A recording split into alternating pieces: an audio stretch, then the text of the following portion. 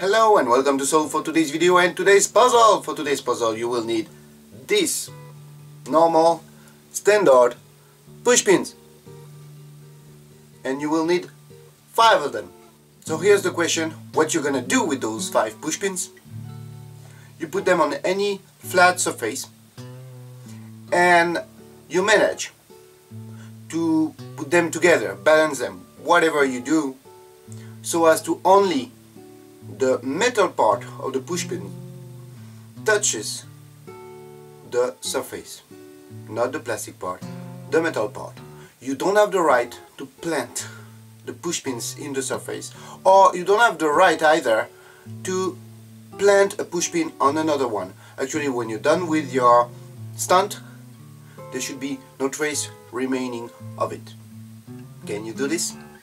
I have two solutions for that. Can you find at least one?